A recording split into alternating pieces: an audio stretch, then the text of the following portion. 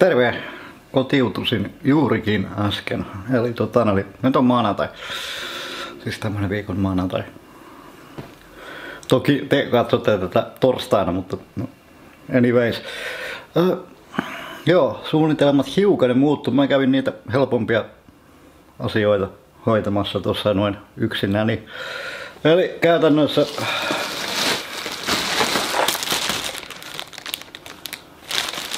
pakollinen mainos.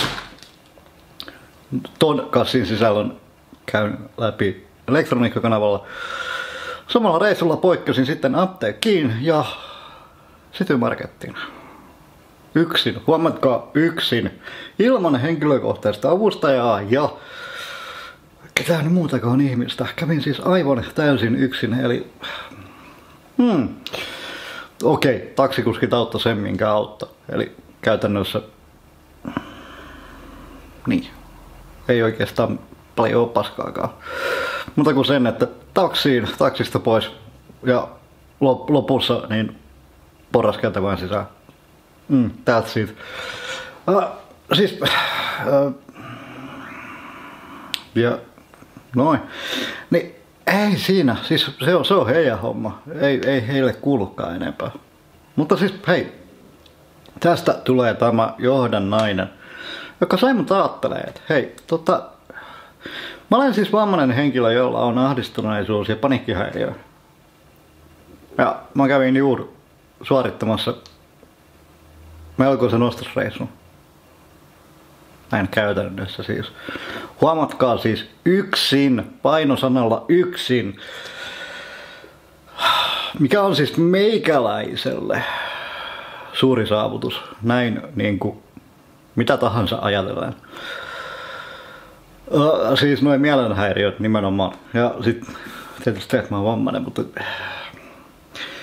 tässä niin kun tuli mieleen se, että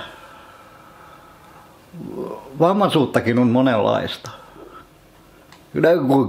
Kyllä te, kyllä te nyt sen sitten, mutta siis niin kuin tässä kohtaa oli pakko sanoa. Jotkut vammaisista, kuten esimerkiksi juuri minä, niin ei käytännössä tarvita hirveästi apua. Siis tuollain niin kuin normielämässä ei tarvita hirveästi apua. Öö, siis okei, okay, erikoistilanteet erikseen. Eli jotkut tapahtumat, YMS, YMS, tilanteet, joissa henkilökohtaista avustajaa tarvitaan, YMS ja näin, pois, näin poispäin. Sitten on se toinen ääripää vammaisissa, jotka käytännössä vaatii ympäri vuorokautista hoitoa. Ja sitten siinä on se kaikki siinä välissä. Eli kun vammaisuutta nyt on monenlaista, monen muotoista ja on fyysistä että henkistä laatua olevaa vammaisuutta, tai siis niin kuin enemmän, niin kuin, kyllä te nyt tajuutte varmaan, mitä mä tarkoitan. Siis kun puhutaan niin kuin oikeasti vammaisista, eli niin kuin, niin. Äh, mutta sitten äh, vammaisesta ihmisestä ei koskaan kannata olettaa, että mihin se pystyy ja mihin se ei pysty. Koska olen törmännyt olettamuksiin tässä. Että koska olen, olen vammainen, en pysty siihen tähän tohon ja vielä siihenkään. Ja plää plää plää. Ja vaikka todellisuudessa pystyn. Toki siis mulla on jo rajoitteeni, eli mä en pysty pistämään lamppua kattoon, mutta niin.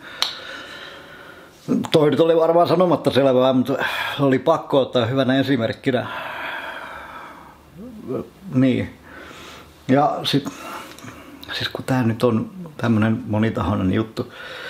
Mutta siis koskaan ei pidä olettaa yhtään mitään. Ennen kuin tietää, että hei, mikä se henkilön todellinen tilanne on. Ja mikä henkilön vamma on ja näin poispäin. Ja bla bla bla. Eli siis niin kuin, niin, te varmaan ymmärrätte.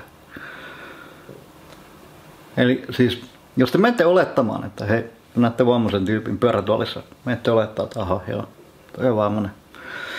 Toi vaatii, toi, toi, toi vaatii vähintään niin kuin apua, apua vähän kaikkeen. Siinä kohtaa te mokaatte jo, koska te menette olettamaan. Tää, siis tässähän, tästähän päästään oivana, oivo, oivana aasinsiltana siihen, että olettamus on kaikkien mokien äiti. Oletatte siis mitä tahansa, niin saatatte olla hyvinkin väärässä ja erittäin paljonkin väärässä, jonka jälkeen ne teidän olettamuksen jälkeen tekemät valinnat ja mahdolliset, mahdolliset sanomiset, niin ne saattaa loukata jotakuta ihmistä. Siis jos teette olettamuksiin perustuvia valintoja elämässänne, niin siinä saattaa syntyä väärinkäsityksiä, saattaa tapahtua muutakin ikävää. Eli älkää koskaan olettako yhtään mitään, vaan jos te välttämättä haluatte tietää jotain, ottakaa selvää, tai jos on kyse vammaisesta ihmisestä, niin menkää, menkää kysymään. Et jos nyt sattuu kiinnostamaan niin paljon. Et, niin, kuin, niin. Toki siis tuossa Sittarissa taksia odotellessa kävin erittäin mielenkiintoisen ja hyvinkin asiallisen keskustelun erään ihmisen kanssa. No, hän ihan suoraan kiertelemättä kysyi silleen hiukan varovasti, että niin kuin, ootko ollut tuossa tuolissa koko ikäsi. Mä, siinä kohtaa mä yksinkertaisesti pläjätin asiat niin kuin ne on. Eli kerroin sen, että miksi olen tuolissa kauan, kun olen ollut tuolissa bla bla. Niin, että hei, this is my story. Että hei, tota noin, tiedät. Koska hän kuitenkin esitti asian kohteliaasti, niin minä esitin asian hänelle kohteliaasti. Vain syystä, että koska kohteliaisuus. Kohteliaalle vastataan kohteliaasti. Jos et ole kohtelias, niin sinulle vastataan ei kohteliaasti. Eli sinua kohdellaan juuri niin kuin sinä kohtelet muita. Eli tota, niin.